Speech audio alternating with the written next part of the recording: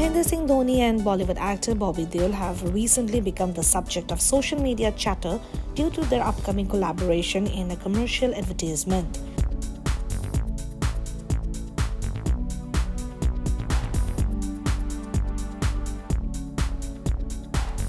However, a surprising twist has unfolded, capturing the attention of fans.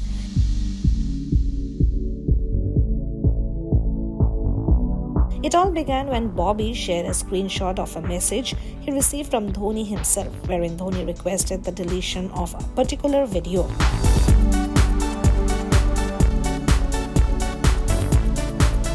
Bobby promptly responded, assuring Dhoni of deleting the video, sparking a wave of curiosity and amusement among fans who are eagerly speculating about the content of the mysterious video and Dhoni's reasons for wanting its removal.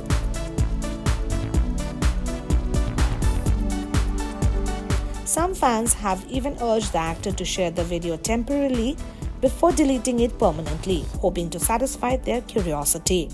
Despite the fervent interest, the exact nature of the video remains veiled in secrecy, leaving fans eagerly waiting for further updates from Deol. However, the actor has chosen to remain tight lipped about the matter, leaving fans to ponder the possible antics the duo might have been involved in.